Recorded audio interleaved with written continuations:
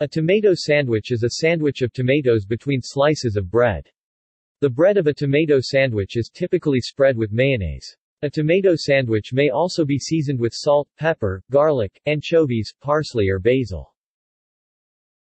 Seasonal preparation In the state of North Carolina they are most commonly associated with summer. See also